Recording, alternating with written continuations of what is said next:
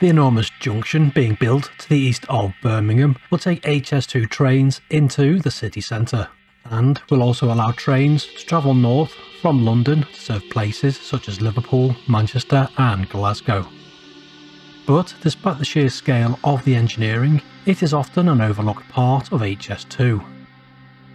It may be referred to simply as Delta Junction, but the name does not fully portray the scale of what Balfour Beatty Vinci JV has been tasked with delivering.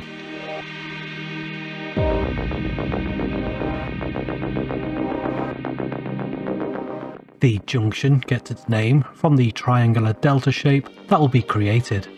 But it's not technically just one junction, but instead three grade separated junctions, which on their own are impressive feats of engineering. Such is the scale of Delta Junction that this will be the first of at least two videos on the subject, as I don't think I could explain what it is and how it's being constructed in less than 10 minutes. This first video will look at what Delta Junction is and why it was needed in the first place. The subsequent video or videos will look at the engineering challenges and the unique construction method which has never been used in the UK before.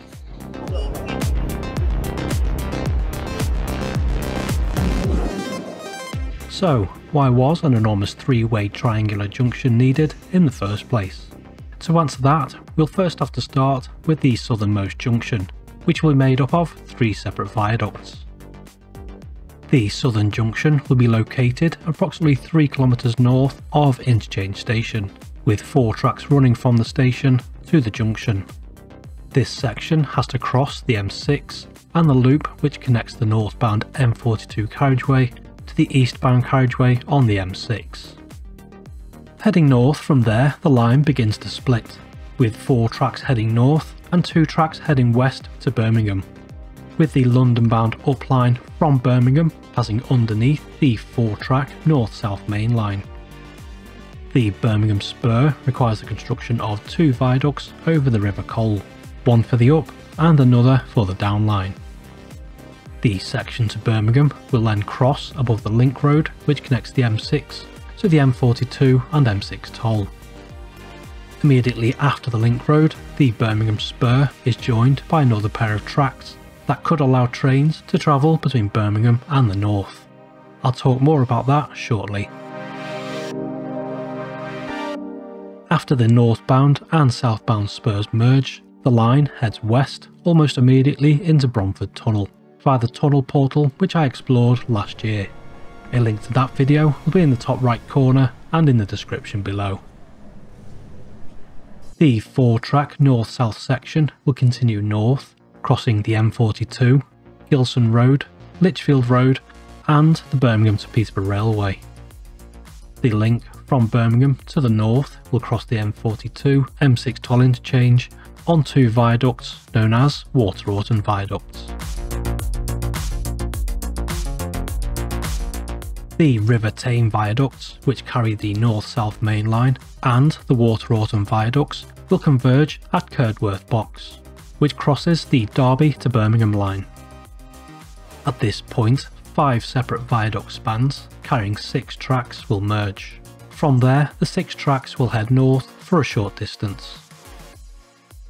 It's at this point that my knowledge is somewhat lacking, as I can't be sure if all six tracks heading north to what would have been the Leeds dive under will be installed, or if part or all of the structure for the Leeds dive under will still be built. When I visited the site of what would be the Leeds dive under at the end of February, all seemed quiet. The only activity I could see was some work by the Marston box which will take two tracks north over the M42. The Water Orton viaducts would have taken trains from Leeds and Manchester into Birmingham. But as we know, the sections to the east and to Manchester have been cancelled, so it will no longer be possible to provide high-speed services between the UK's three largest regional cities. However, it is important to stress that trains will be able to travel from London to places such as Manchester, Liverpool and Glasgow once HS2 is connected to the West Coast Main Line north of Lichfield. Given the cancellation of the northern legs, the 6 track wide Curdworth box could seem somewhat unnecessary. Fact is though that right up until October 2023, the government was still publicly committed to building HS2 to the northwest, with a revised spur serving the East Midlands as set out in the Integrated Rail Plan. So by the time Rishi Sunak made his announcement, work on Delta Junction, including Curdworth Box, was already well underway, with piling for the Water Orton viaducts having started in 2022. This footage from May 2024 shows the scale of the work that had already been carried out, which included the relocation of a sewage works.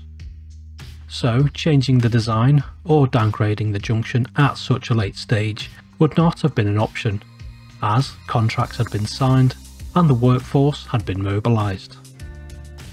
Now this isn't to say that HS2 trains will never be able to travel from Birmingham to the north, but without HS2 Phase 2 or some sort of link between the Midlands and North West, there will not be sufficient capacity on existing lines or into Manchester Piccadilly for new services. At least not without replacing existing cross-country services between Birmingham and Manchester, but that would have consequences for regional connectivity so it's not really a viable option. Even though passenger trains won't use the link, as far as I know the track and systems will be installed on both of the Water Orton viaducts and the Curdworth box. And it is likely the connection will still be required for empty stock moves to and from the Washwood Heath depot. The positive takeaway from this should be that the junction is being future-proofed, so passenger trains could one day head north from Birmingham. So, in a fortuitous sort of way, the government was forced into not curtailing the potential of HS2 any further. But it is also another example of how incredibly ill thought out Rishi Sunak's decision was. The next video will be a return to talking about engineering, as we delve into the construction of the River Tame and Water Orton viaducts. So be sure to subscribe so you don't miss that. And if you'd be so kind, don't forget to give the video a like. And just before I sign off, I'd like to say a big thank you to my Patreon and YouTube supporters who help to make videos like this possible. Your ongoing support really is appreciated, so thank you. If you'd like to add your name to that list, there'll be a link in the description below.